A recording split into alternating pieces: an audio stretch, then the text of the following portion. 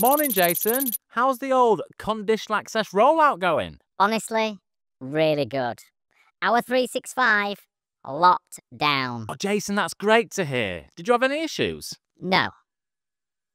Well, apart from Charles. Hmm, what about Charles? Well, his iPhone won't open Outlook anymore, and his MacBook, that's completely locked him out of Teams. Jason, I'm dictating confidential client emails over a landline like it's 1983. I've got to be honest with you. I'd rather have hackers crawling all over my tenant than this.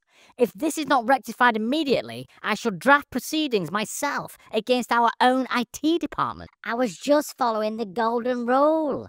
If in doubt, block it out. Jason, this is why conditional access needs some careful planning.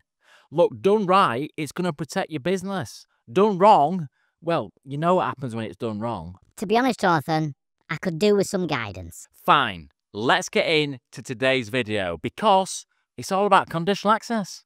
Let's go.